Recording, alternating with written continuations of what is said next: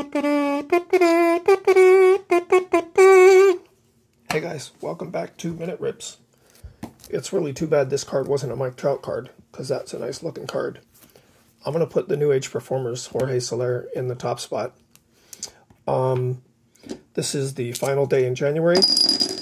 We just rolled four. It's doubles, so one last chance at the hit out of this hobby box.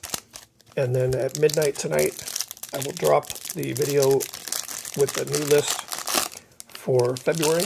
And starting tomorrow, we will be pulling cards for a whole new set of people. Let's see what we have in here. We have Daniel Hudson. We have Cole Calhoun. Taijuan Walker. Joey Votto. Randy Arozarena for the Rays. That's a nice one to pull.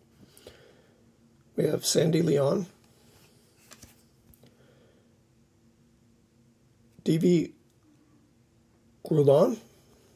Deivy Grullon. Divey, DV. I'll have to look him up. Alec Mills. Ian Miller. We have a numbers game. Clemente, Roberto Clemente. Then we have Battery Bath. Jalen Beeks. Ryan Howard.